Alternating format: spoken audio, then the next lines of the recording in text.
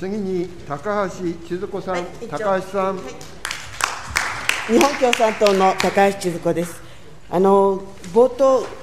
GoTo キャンペーンについて一問伺いたいんですけれども、あのすでにあのたくさんの方が質問していますので、大臣にあの答えていただきたいと思います。3095億円の事務委託費が課題であり、かつかつ持続化給付金の不透明な採択問題と同様の問題が起きないのかということを3日に指摘をいたしました。その後、公募が中止と決めるにあたって、そもそも経産省から大臣に相談があったのか、あるいは大臣から意見をしたのでしょうか、伺います。赤羽国土交通大臣い、やあの相談というか、経産省からあのそういう、えー包括的なことはあのかあの変えるということは大臣から伺いました。高橋さん、それは結果論ということでしょうか、あの公募の中止の理由ということを何度も私、聞いていたんですけれどもね、あの大臣からやっぱり中止をすべきだというあの意見はあったんでしょうか。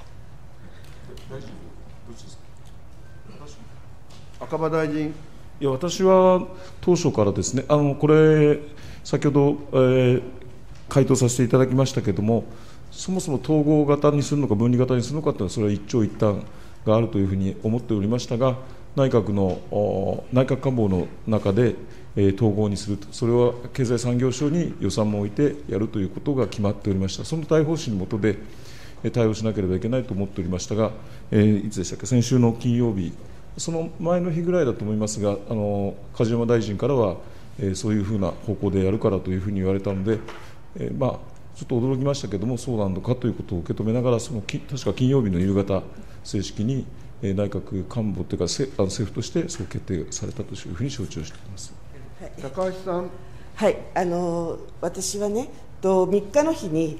と質問をしたあの趣旨はですね、野党の皆さん、やっぱりこのみの3省でやる、しかも、まあ、経産省が束ねてっていうことに対して、まあ、国交省が自ら抜けても、自らの力でね、これやるべきだと、そういう趣旨で述べたんだとあの思ってるんです、私自身もそうでした、それから大臣があの、ね、と不透明なことがあればあの、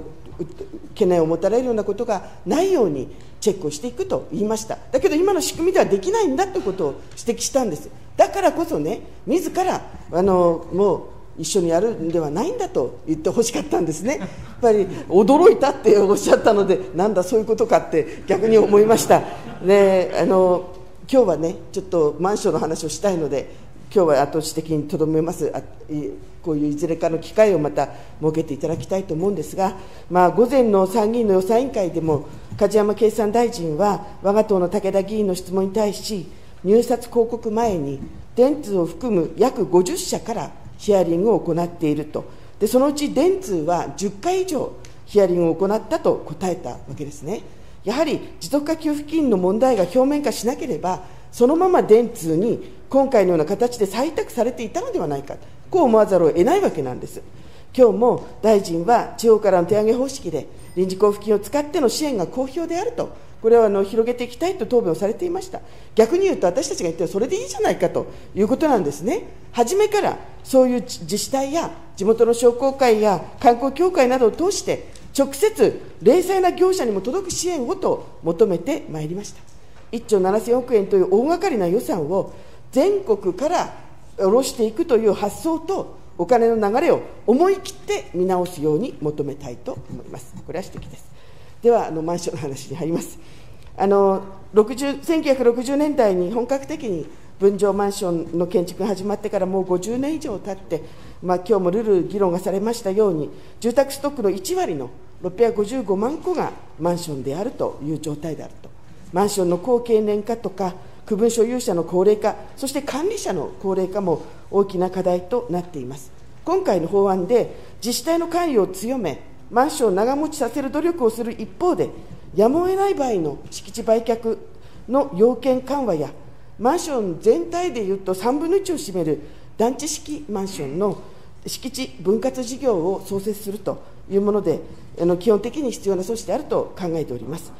えー先ほど議論がありましたけれども、都会にそびえるタワマンは、新聞に織り込まれる広告の紙の質の違いにも見られますように、高額であるとそしてセキュリティが高く個のイメージつまり孤独の子ですねのイメージが強いんです。だけどそういうマンションこそコミュニティが問われる。これがあのマンションの持つねあの大きなあの矛盾であると思います。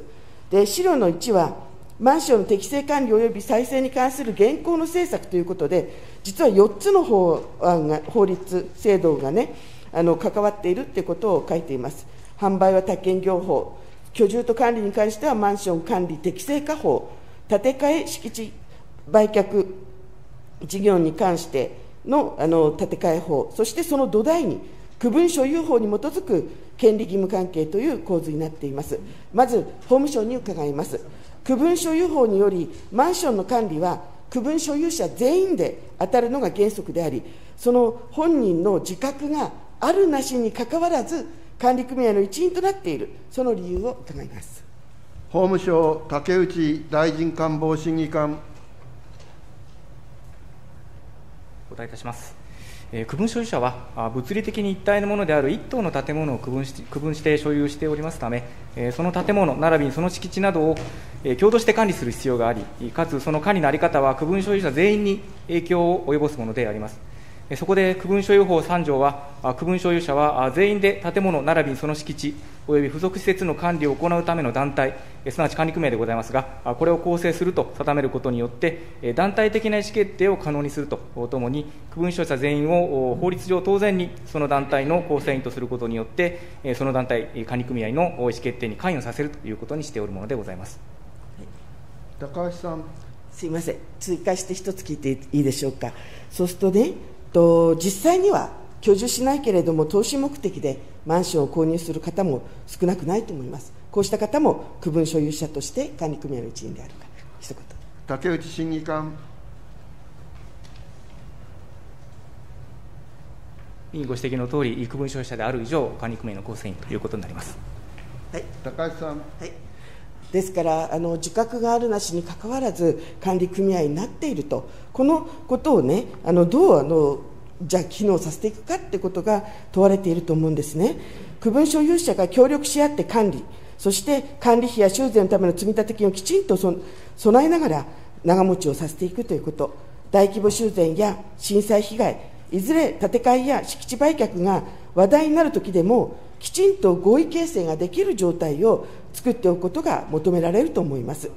2000年に議員立法で成立したマンション管理適正化法を本当であればもっと使いこなしまた改正ももっと早い時期にやるべきだったのではないか。このように思います。で資料の丸2を見ていただきたいんですがマンション購入の際に考慮した項目の第1これ左側の資料にありますけれども駅からの距離などの利便性が72.6%間取りや買い物環境などとこう続きます、まあ、差もありなんと思うんですけれど共用部分の維持管理状況とかコミュニティなどはほとんど注目されてないわけですよね。ですからあのと質問をしたいんですけれども新築マンションの購入契約前に受ける重要事項説明。これあの宅建業法により義務付けられておりますがあのマンションの特性ともいえる今お話ししてきたような区分所有権とかもう管理組合みんなが入らなきゃいけないんだと当たり前のことなんだとこれを分かってもらうってことがまずねあの購入前にあのやってもらうようにするべきじゃないでしょうか。真鍋住宅局長。今ご指摘をいただきましたように宅地建物取引業法では宅地建物取引業者に対してマンションの販売時に敷地に関する権利の種類及び内容、共用部分に関する規約、契約計画修繕の積立金、通常の管理費用の額、管理業務を行うマンション管理業者などについて、取引の相手方に説明させることを義務付けている、いわゆる重要事項説明でございます。まこれは消費者保護の観点から、えーまあ、これ、買われる方、買い主が取引の物件、あるいは取引の条件等に対して十分に理解した上で、契約締結の意思決定ができるように、必要な事項を宅建業者に説明義務付けている、まあ、こういうことだと思います。あの重要説明事項は非常に多岐にわたっておりまして、まあ、必要最小限のものとすべきというご意見もございます。まあ、そうは申しましても、今ご指摘いただいたように、マンションの購入予定者が区分所有権、あるいは管理組合の役割、そうしたものについて、ちゃんと特性を理解して、えその上で購入していただく、入居していただくというのは大変重要なことだと思ってございます。すべて重説と役には回らないかもしれませんが、公共団体やマンション管理の団体によるセミナー、あるいは相談対応、国による各種のガイドライン、そうしたものについて、これまでにも普及啓発に努めてきましたが、まあ、さらにネットの情報、あるいは Q&A、マンション管理適正化推進センターの働きなど、今まで以上に充実すべきところがあるというふうに考えてございます。マンションの管理の重要性について理解を深められるよう、今後も推進に努めてまいりたいと考えてございます高橋さん。はい、今あの、重要だという答弁がありました。あの当たり前のことのように思うんだけれどもあの自覚がなくてもなっているということを分かっていただくあの独立した空間があると同時に共用のスペースがあってみんなでそれぞれの時に修繕をすべきかどうすべきかって検討していかなければならない、そのためのお金も積み立てていかなければならないと、そういうことをね、理解してもらうことが必要ではないかと思います。それで資料の3を見ていただきたい、これ、河北新報の5月21日付です。仙台市で廃業後、約20年にわたり、修繕もされず、廃墟同然となっていたホテル木町という名の分譲マンションがようやく解体が決まったという記事です。実はあのこれ建築許可はホテルだったんです。だけど4階から7階は分譲マンションとなって、いずれこれホテル廃業した後は、あのホテルの客室部分も分譲されておりました。えー、77年開業当時は東北初の高級ホテル分譲と謳い文句があったそうであります。ホテル経営者が破産して以降、権利関係がはっきりしない人物が一部を占有し、77年には建物内で殺人事件まで発生しました。周辺住民も外観だけでなくもう怖くて近づけない。そういう状態でした。区分所有者は107人、まあ、方々にあの散ってるわけですが1人の区分所有者が立ち上がってそして複数の区分所有者が集まって2018年7月に管理組合を発足させ5分の4の建て替え決議まで持ってくることができたということなんです。この記事ではないけれども、あのこれを報じた同じ記事あの別の記事の中で、仙台市内では、他にもマンションなど管理が行き届かなくなる建物が目に留まるようになった、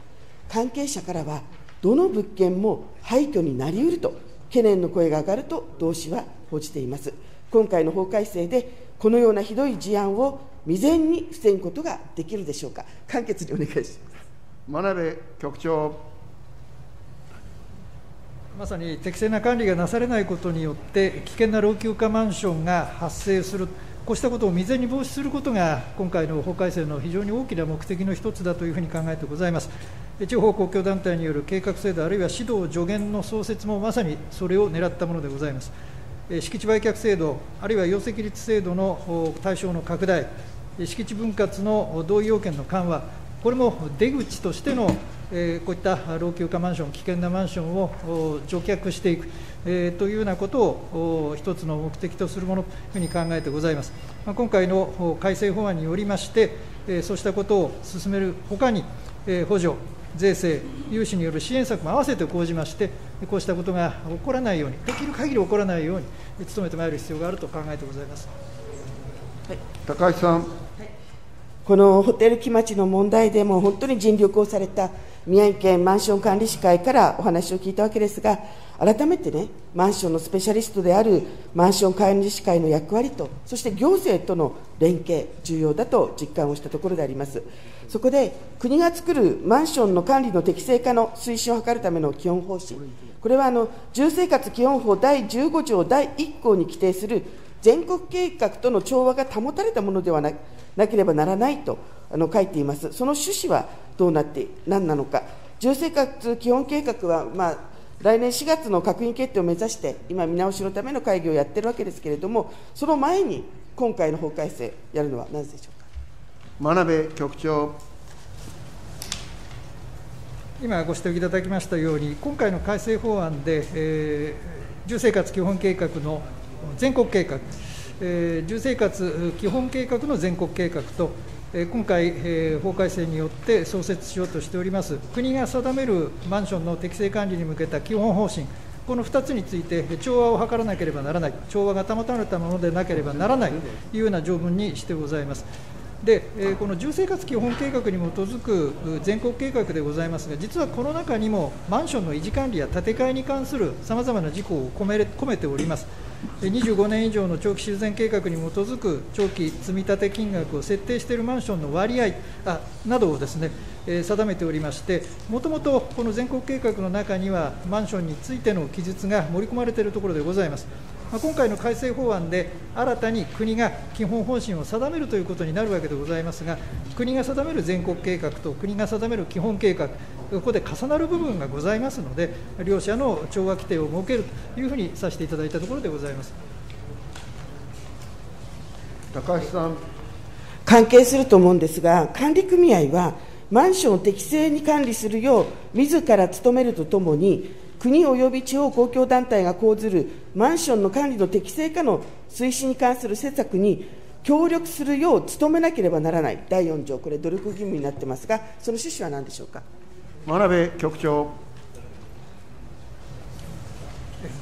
おっしゃる通りの今回の改正法案において盛り込んだ条文がございます。もともとマンションの管理適正化法では、管理組合に対して、自らマンションを適正に管理する努力義務が課されております。今回の改正法案で、え国、あるいは公共団体に対して、マンションの適正管理適正化の推進を図るための必要な施策を講じる努力義務を、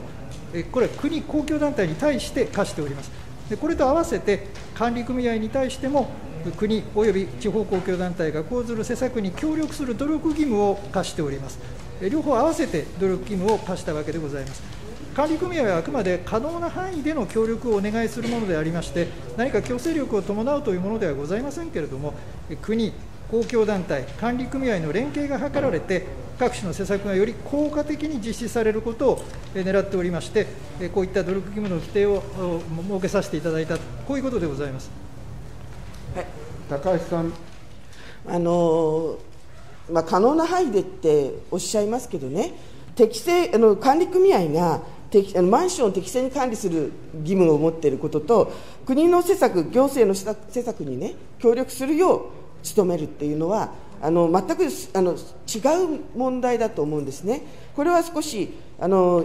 踏み込みすぎなのではないかと思うんですね。土地基本法でも同様の条文改正がありました。で外部不経済が、ね、今、大きな問題になってるからとあのおっしゃるんだけれど、まあ、確かに全国で空き家対策特措法に基づき、行政代執行も進んできていると、で行政がまあ肥料を回収できないと、そういう問題があるわけですよね、自治体にとっても非常に負担、だけど、そういうことであれば、そう書けばよいのであって、施策に協力するよっていうのは、もっと広い意味になっちゃうわけですよね。で住生活基本生活あの基本計画は今、見直しの議論の中で論点が示されていますけれど、これまでとあの大きく違うあの目標なども提示をされています。あの現在の空き家ストックの市場流通性やビジネスとして家を閉まっていくことも重要となるということで、やっぱり空き家ビジネス、その空き家対策どうするかということと同時にビジネスの問題ですとか、あるいはこの間ずっと議論してきたあのスマートシティとの関係ですとか、そうしたことまでも位置づけられているわけですよ。でそれがあのその全く別の議論でね、あの住民が望む望むかどうかっていう議論と、その管理組合がそこにあの合わせましょうよっていう議論とは全く別な問題で、あの圧力になってはならないということはね、一言言っておかなきゃいけないと思うんです。それから日本総研の5月1日付のリポートは、全国のマンションの6割から7割が立地する都市部でも、急速な人口減少が進むために、まあ、今あの、行政がね、管理不全とか、廃墟化、マンションの強制解体に踏み切らざるを得ない事態が多発化しない、あのしかねないということで、まあ、改正案の趣旨を述べた上で、あのこうも指摘をしています。住宅ストックの総量に目安、目標を設けたり、開発規制を導入したりして、新規供給を抑制していくことも必要になろうと、私はあのやっぱりその通りだと思うんですね。さっきあの古川委員の議論の中でありましたけれど、あの大臣おっしゃってた神戸ではね、あのタワマンの在り方研究会もやられておりますよね。でそういう意味ではね、やっぱりあの空き家対策、管理不全のマンションに苦労する一方でね、あのタワマンに対しては一切そのあのなんて言うんでしょうか、自由なんですよっていうことに対しては、やっぱり一定ね、あの議論していく必要があるんじゃないか、中には投資目的の購入もあって、管理組合の一員だけれども、あの誰も住んでないということが増えていったときにね、何が起きるかということも含めてね、何らかの規制っていうのは、まあ、これからあの考えていくあの必要があるんじゃないのかな、こういうふうに思いますが、もし大臣、意見いただければお願いします。赤羽国国土交通大臣、あのー、まああのー、おっしゃりたいことよくわかるんですけど、その例えば住宅投資のところに規制を入れるとかっていうことになると、また全然別の話、問題が出てくるんじゃないかと思いますので、あのいわゆあの高橋さんが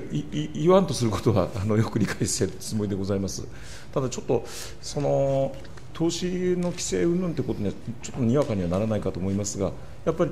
あれですね実態のないあのやっぱコミュニティが大事だというふうに私も思いますので、その実態のない人たちばっかりが区分所有者になったときに、問題が発生するというご指摘はその通りだというふうに思っております。はい、高橋さん。はい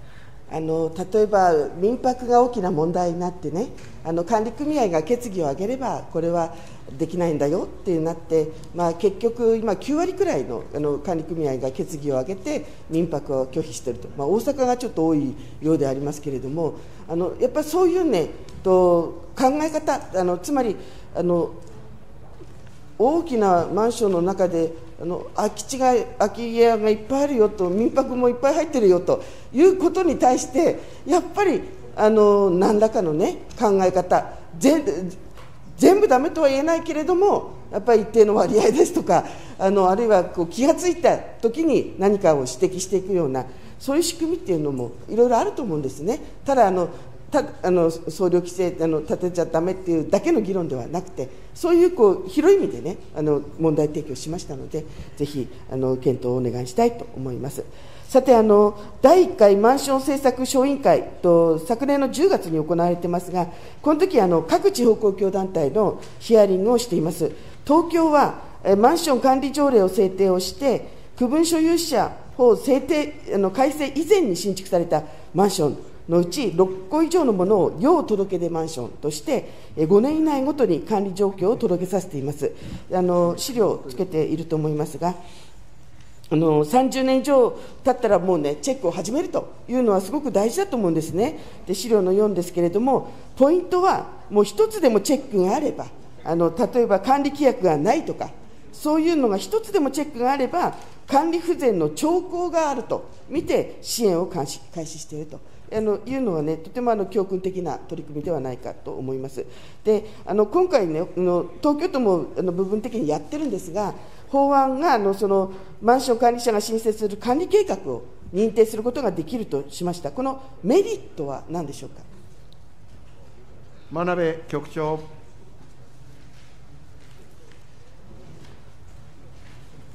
回の改正法案におきまして、えー、マンションの管理組合、管理者の方から申請をいただいて、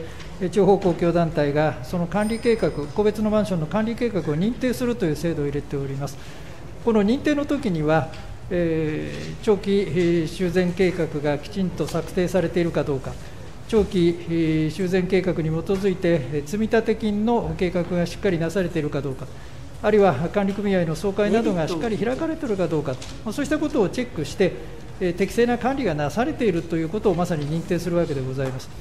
でそうした認定をされたマンションが市場において評価を受ければ、これからマンションを購入される方についての判断のよすがにもなりますし、またマンションの管理組合を構成する区分所有者の方に対しても、その認定を維持しよう、あるいは認定を取ろうというようなことで、適正な管理へのインセンティブが生まれるというふうに考えてございます。また、こうしたことについては、さらに普及をする、周知をするというのは非常に大事だと思ってございますので、関係業界業界団体や、あるいは公共団体の協力も得まして、この制度ができた暁には、その普及に図って、普及を図ってまいりたいと思います。また、それにさらなるインセンティブについても、施行までの間に十分に検討してまいりたいと考えております高橋さん。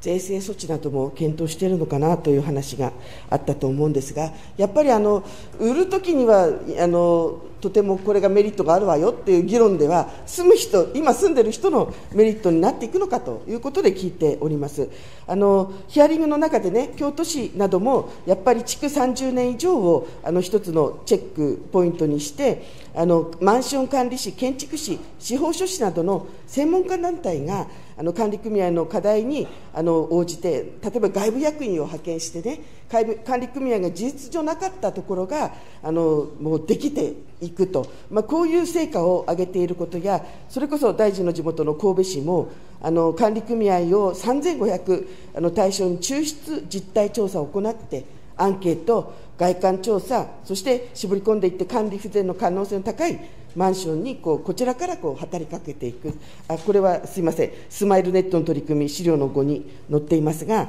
えーと、7500人の一般相談、2万9000人の利用って、こういう、ね、取り組みもしています。こうした自治体の関与、マンション管理士のなどの専門家との連携、本当に重要ですが、これをこうした取り組みをあの支援していく、財政的な一言で。真鍋局長地方公益団体の取り組みをサポートして、マンションの管理の適正化が進むと、これはあの私どもも大変あの関心があり、また進めたいというふうに考えているところでございます。財政的支援ということにつきましては、今年度の予算において、地方公共団体が行うマンションの実態調査、あるいは専門家派遣事業への補助、えなどを創設しているところでございましてえ、マンションの管理適正化に向けた取り組みへの支援、これをまさに強化を図っているところでございます。今後、この改正法案の執行、それから公共団体におけるさまざまな取り組み、こうしたことについて、合わせてサポートしてまいりたいと考えております。はい高橋さん。はい、あの少し急いであの聞き聞きます、えっと、養女客認定などのために管理組合が行う耐震精密診断、これ必要となりますが、まあ、結果回収必要とならなければ補助がありません。えっと、全国では、まあ、仙台市もそうですが、あの補助制度があるんですけれども、あのやっぱり全部ではないわけですよね。で対精密耐震精密診断はマンション再生の前提でもあり、また適切な管理にとっても重要だと思います。毎日、あの回収不要だからと補助が得られないことが足止めにならないように、要回収の条件なしに財政支援を行うべきだと思いますが、いかがでしょうか。真鍋局長。おっしゃる通り、マンションをはじめとする建物の耐震化を進めることは大変重要だというふうに考えてございます。このため、従来よりマンションの耐震診断、それから耐震改修に対しまして、地方公共団体が補助を行う場合に、国土交通省から交付金などによりまして支援をしてきております。この場合、診断への支援につきましては、診断の結果、改修が必要となるか否かを問わず、国の制度としては交付金の対象とすることを可能としてございます。え今あの、先ほどお話が出ました仙台市の例なども、えそうしたことで補助を行っているというふうに承知してございます。ま国土交通省といたしましては、これまでにもマンションの耐震化に関する補助制度の創設、あるいは取り組みの促進について、公共団体に働きかけてきたところでございますが、こういった国の交付金の制度の仕組みも含めまして、一層の周知を図ってまいりたいと思います高橋さん。自治体への支援の場合は、あの今言ったように、と改修工事があの条件ではないということでお話をされたと思います。あのこれあのちゃんと確認をした上で質問しておりますのでねあのもしそうだというのであればすべての自治体がやっぱりこれ可能になるようにあの取り組むというところには応援しますよっていうだけではなくってやっぱりあの条件の定着させていく必要があると思いますがどうでしょうか真鍋局長あの国土交通省が交付金によって支援をするということでございますが、個人の住宅なり建物、マンションも含みますが、耐震診断や耐震に耐震改修に対して公共団体が補助をする場合に、私どもが公共団体に対して交付金で支援をするという、こういう仕組みになってございます。残念ながら、現在のところ、えー、例えばマンションの耐震診断や耐震改修についての補助制度をご用意していただいている、市町村の数というものは、えー、まだまだ多くないというふうな認識がございます。えー、このマンションの耐震診断、耐震改修につきましても、戸建て住宅やあるいはそれ以外の建物と同じように、非常に重要なものというふうに考えてございますので、さらに働きかけを強めてまいりたいと思います。はい、高橋さん。はい、まだ多くないというあの答弁でありました。また今年の予算にもあのさまざまな、ね、耐震改修法に基づいたのの支援策が載っているんですけれども、やっぱりそういうこうもっと、ね、前に進めるという立場の答弁が欲しかったなということで、あの引き続きこれは増やしていっていただきたいと思います。本当はその建て替え決議や敷地売却に参加できない人の対策をあの一言訴えるつもりでありましたが、時間になりましたので、あのお願いをして終わりたいと思います。